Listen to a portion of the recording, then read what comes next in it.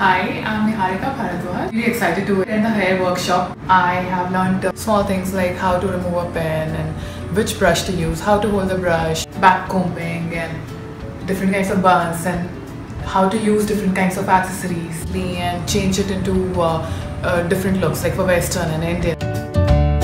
And the same bun, using a gajra, I can carry it with an Indian attire and, and I can go for a wedding.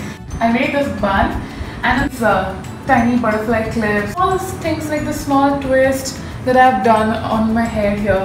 It has given a nice look. I never would have thought that you know I would have a middle partition and I would just go out.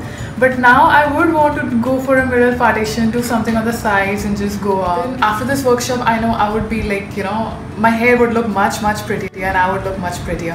Hair makeover done as part of the workshop. Love it. Learned a lot, very satisfied.